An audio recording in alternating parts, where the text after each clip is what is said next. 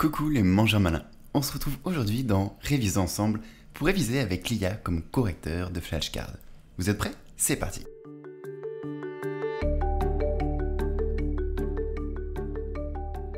Alors, c'est quoi la vitamine E?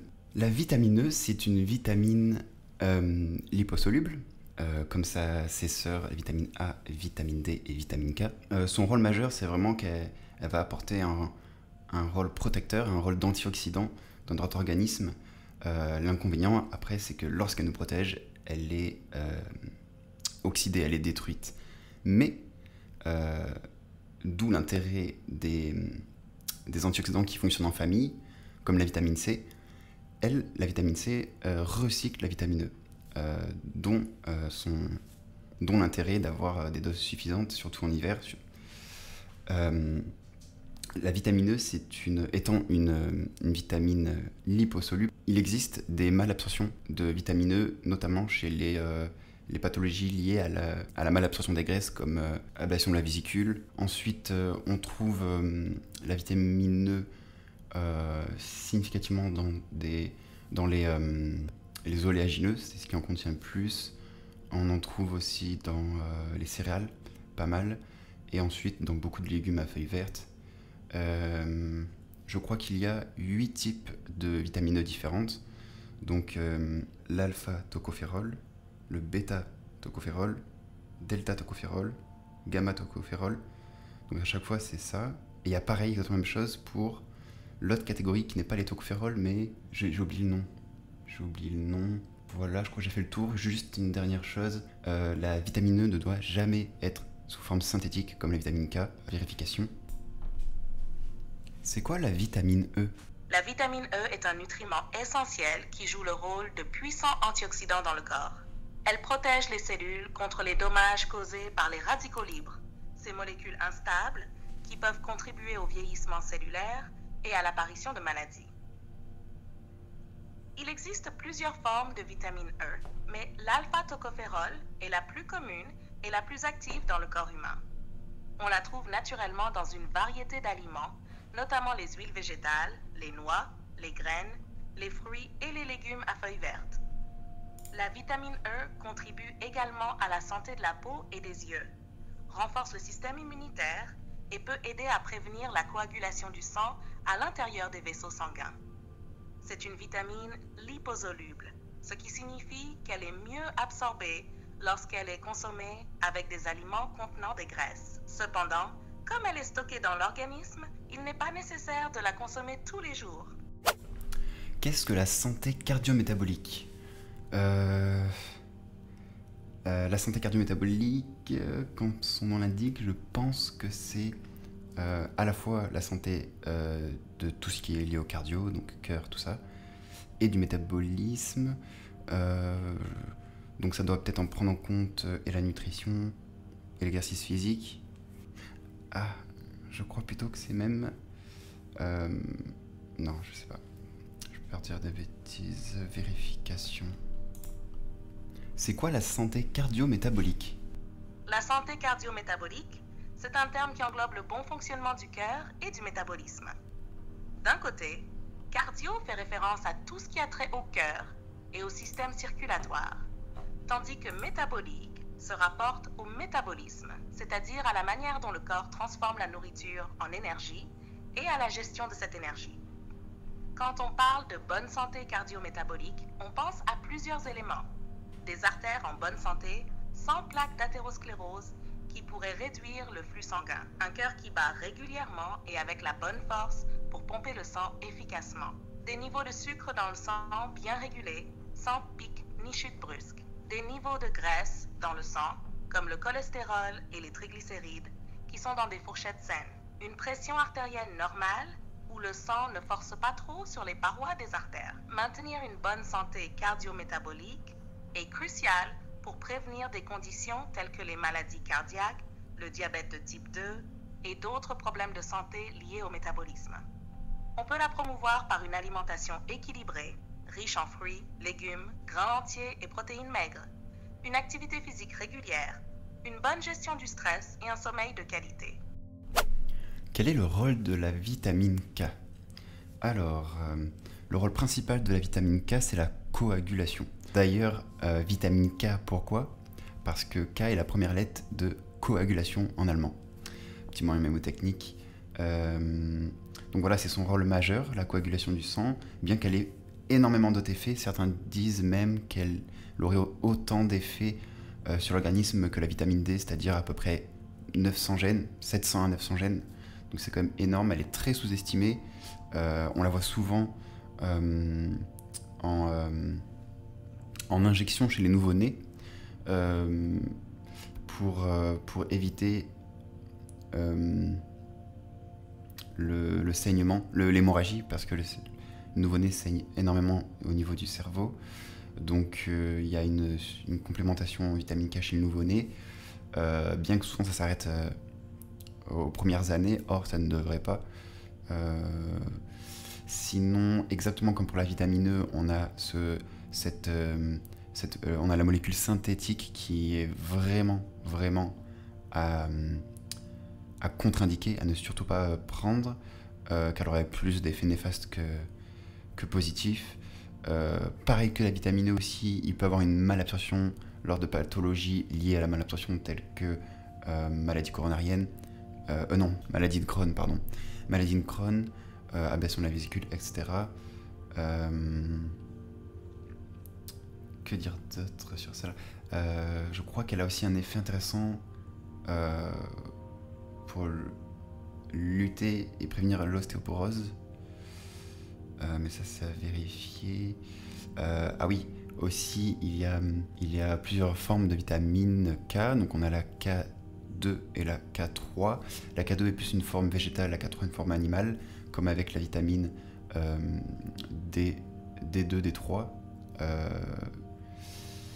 voilà, il s'avère que l'absorption sous forme animale est plus biodisponible que la forme végétale. Euh, les sources principales de la vitamine K, ce sont les crucifères principalement.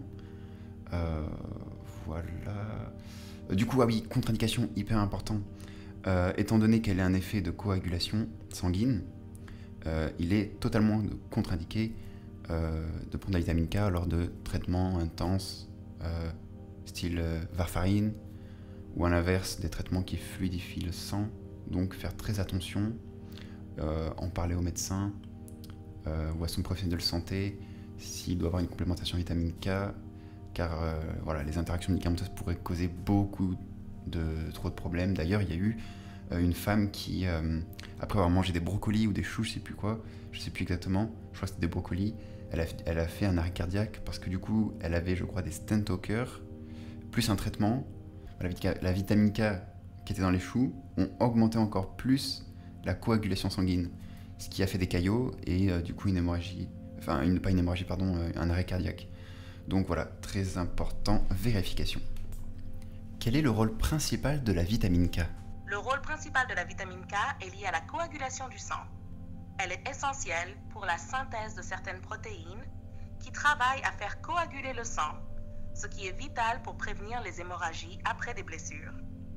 Mais ce n'est pas tout la vitamine K joue également un rôle dans la santé des os. Elle aide à modifier certaines protéines osseuses pour qu'elles puissent se lier au calcium, ce qui est crucial pour maintenir des os forts et sains. On trouve la vitamine K dans les légumes à feuilles vertes, les huiles végétales et certains fruits. Le corps en a besoin en quantité suffisante pour ses fonctions essentielles. Mais, heureusement, une carence en vitamine K est assez rare car le corps la stocke efficacement. Est-ce que ça répond à ta question sur la vitamine K? Oui, mais je voudrais que tu me parles au moins des interactions médicamenteuses. Bien sûr, la vitamine K peut interagir avec certains médicaments, et c'est important de le savoir. L'interaction la plus connue est avec les anticoagulants, comme la warfarine. Ces médicaments agissent en inhibant l'effet de la vitamine K pour prévenir la formation de caillots sanguins. Si quelqu'un qui prend de la warfarine mange beaucoup d'aliments riches en vitamine K, cela peut diminuer l'efficacité du médicament et augmenter le risque de caillots sanguins. C'est pourquoi les personnes sous warfarine reçoivent souvent des conseils pour maintenir un apport constant en vitamine K, évitant les fluctuations majeures dans leur consommation alimentaire de cette vitamine, plutôt que d'essayer de l'éliminer complètement de leur alimentation. D'autres médicaments peuvent également affecter l'absorption de la vitamine K, comme les antibiotiques à long terme, qui peuvent détruire les bactéries intestinales qui produisent de la vitamine K. Il est donc crucial de parler avec un professionnel de la santé avant de prendre des suppléments de vitamine K ou de faire des changements alimentaires significatifs si tu prends des médicaments, en particulier des anticoagulants. Qu'est-ce qu'un monosaccharide? Alors, un monosaccharide, c'est la forme la plus simple du sucre, souvent appelé un ose. Donc il y a plusieurs oses, plus il y a de monosaccharides, donc de ose, plus, euh, bah, plus le nom est adapté en... Pas trop Plus le nom est adapté tel quel, par exemple. Je sais qu'il quand il y a aussi, par exemple, des combinaisons style lactose et galactose, ça donne... Non, je voudrais pas dire de bêtises après, je suis pas sûr du tout. Euh, vérification. C'est quoi un monosaccharide? Un monosaccharide, c'est vraiment l'élément de base des glucides. C'est un type de sucre simple qui ne peut pas être décomposé en une forme de sucre plus simple par hydrolyse. C'est donc la brique élémentaire des glucides. Les monosaccharides ont différentes fonctions dans l'organisme, mais leur rôle principal est de fournir de l'énergie rapidement utilisable par les cellules. Lorsque tu manges des glucides, ton corps les décompose en monosaccharides qui sont ensuite absorbés dans le sang et transportés aux cellules pour être utilisés ou stockés. Le glucose, par exemple, est un monosaccharide très important. C'est une source d'énergie essentielle pour nos cellules, en particulier pour le cerveau et les muscles pendant l'exercice. D'autres monosaccharides courants comprennent le fructose, que l'on trouve dans les fruits, et le galactose, qui est un composant du lait. Est-ce que ça t'éclaire sur les monosaccharides? Qu'est-ce qu'une mitochondrie? Alors, euh, une mitochondrie, c'est euh, une petite organite qui se situe euh, dans chaque cellule de notre corps. elle joue un rôle essentiel dans la production d'énergie. En fait, elle va transformer certains nutriments que nous allons ingérer en ATP, qui est la monnaie de l'énergie. Donc sans elle, sans mitochondrie, il n'y a pas d'énergie. Sans énergie, il n'y a pas de vie.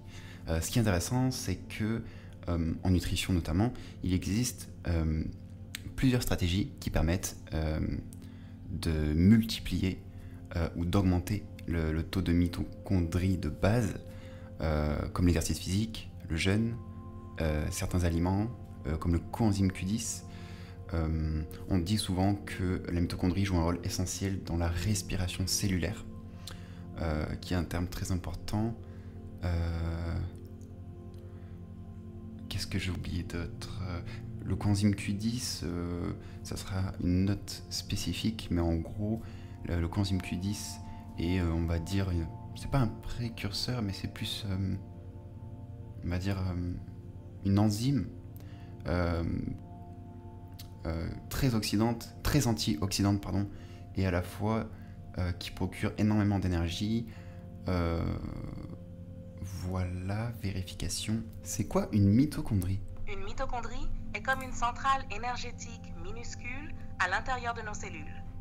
Elle transforme les nutriments en énergie que la cellule peut utiliser, un peu comme un générateur convertit le carburant en électricité. Chaque mitochondrie possède son propre ADN et est spécialisé dans la production d'adénosine triphosphate, ATP, la monnaie énergétique de la cellule. C'est dans les mitochondries que se déroule la respiration cellulaire, un processus qui convertit l'oxygène et les nutriments en ATP et en déchets. Les mitochondries jouent aussi d'autres rôles dans la cellule, comme la régulation du cycle de vie cellulaire, y compris la croissance cellulaire et la mort programmée des cellules, appelée apoptose. Elles sont donc cruciales pour la vie cellulaire, la production d'énergie et la santé globale de l'organisme. Qu'est-ce qu'un noyau ou qu'est-ce que le noyau cellulaire? Alors, le noyau cellulaire, pas un organite, c'est le composant le, composant principal d'une cellule, c'est lui qui contient l'ADN euh, de nos cellules. Je sais pas quoi dire d'autre.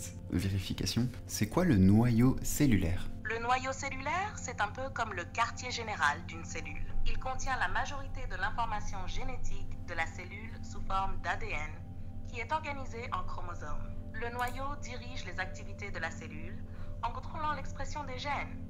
c'est-à-dire quelles protéines sont fabriquées, quand et en quelle quantité.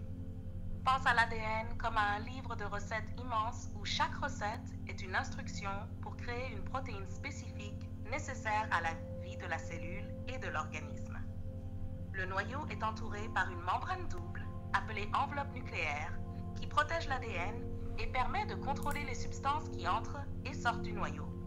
C'est un organe essentiel de la cellule eucaryote qui comprend toutes les cellules animales et végétales. Ah ouais. Les prokaryotes, comme les bactéries, n'ont pas de noyau.